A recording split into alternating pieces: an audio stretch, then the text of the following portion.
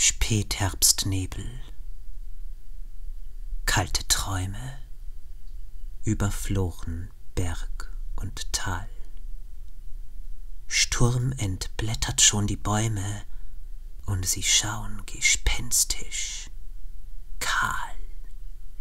Nur ein einzger, traurig schweigsam einzger Baum steht unentlaubt. Feucht von Wehmutstränen gleichsam schüttelt er sein grünes Haupt.